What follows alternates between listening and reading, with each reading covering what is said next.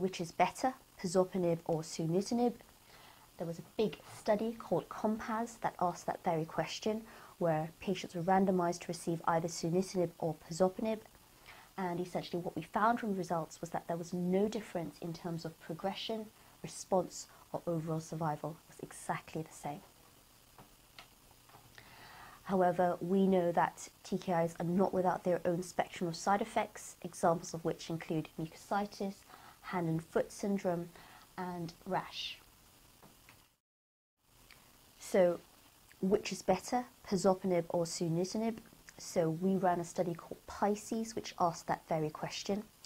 So, Pisces was a study that basically looked at the comparing of the side effects of both pazopanib to sunitinib patients were randomized in a one-to-one fashion to receive either pazopanib in the first instance or sunitinib in the first instance, following which they were then crossed over and had the other drug that they hadn't gotten in the first place. They were then asked in the form of questionnaires um, to see which drug they preferred. Now, it's really important to stress that in this study, it was a double-blinded study, so patients didn't know which drug they were receiving to begin with, and neither did the clinicians and it was really interesting to see that from the results that significantly more patients preferred pazopanib over sunitinib. When asked the reason for this, there was no specific reason actually given. Patients just said they felt generally better, um, though they did say that fatigue and hand and foot syndrome was marginally better on pazopanib. Um, there were, however, issues raised with the study. Um, for example, um, the strengths um, that were mentioned was that it was double-blinded and the fact that two weekly questionnaires were given. However, there were criticisms of the study, as there always are with clinical studies, um, the first of which was that um, patients were only followed up for two cycles, thereby raising the question whether or not patients were followed enough for a long enough period of time. And the second issue um, was the fact that obviously pazopanib is given continuously, whereas um, sunitinib, you have a four week on, two week off period, so it's an intermittent um, regime. Um, so in the second line setting, as mentioned earlier, we've got axitinib and everolimus. Um, so AXIS was the big study which compared axitinib to sorafenib um, in patients who had sunitinib refractory disease.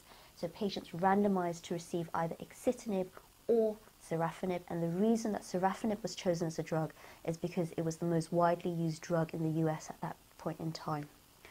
Um, the outcome measure that was used was progression-free survival. And as you can see from this Kaplan-Meier curve, there was a statistically significant difference in progression-free survival in the axitinib arm compared to the sorafenib arm. Um, the side effects were similar, though there was probably more hand and foot syndrome in the sorafenib arm and more diarrhea in the axitinib arm. Moving on to the mTOR inhibitors, which, as we've mentioned earlier, have a more indirect um, way of targeting VEGF. Record 1 was the study that looked at everolimus versus placebo um, in VEGF refractory disease. So patients were randomized to receive either um, everolimus or placebo, with again the outcome measure being progression-free survival. And as you can see from this Kaplan-Meier curve, there was clearly a significant difference in progression-free survival favoring everolimus over placebo. The main side effects um, with everolimus tend to be stomatitis, um, you can get a rash as well associated, and you also get diarrhea. So in summary, we know that pazopanib and sunitinib are both effective oral long-term therapies that we use in the first-line setting. Um, from COMPARZ, we know there is no difference in um, efficacy between the two drugs, and it does, I think, very much boil down to clinical experience when deciding which drug to use. Um, though from our Pisces study, it did seem to show that patients tended to prefer pazopanib over sunitinib. Um, in our second line setting of axitinib and everolimus. Again, both long-term oral therapies. Again, no proven efficacy uh, difference between the two, but I have to have a pause and mention here that that has never been a head-to-head -head study that's compared that. Um, again, I think it does boil down to clinical experience. in terms of deciding which drug to use. So, with all the variety of drugs available to us, you'd think that we would be able to answer the question as to know which patient would benefit from which drug.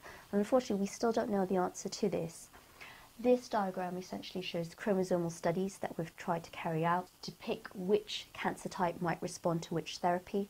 Um, but as you can see, each tumour tends to have different and multiple clones, which means that the protein expression, depending on which area of the cancer you look at, is completely different. So you could biopsy, say, one area, and the protein expression in that area would be completely different from an area that you biopsied just next to it. So we've spoken a lot about the different therapies in renal cancer today. Um, so in summary, we know that there are a lot of systemic therapies currently available in the treatment of metastatic renal cancer. Um, immunotherapy is an area that is rapidly expanding and I think is going to be very exciting in terms of what it shows in the next couple of months and years to come. Um, we are very fortunate in the UK to have a lot of drugs available to us via the Cancer Drugs Fund. And certainly, I think in deciding which drugs um, to give to which patient, I think it does very much boil down to clinical experience. And unfortunately, at present, we're still not able to select patients um, based on what therapy might be best for them in terms of the fact that we don't actually have any biomarkers available at present.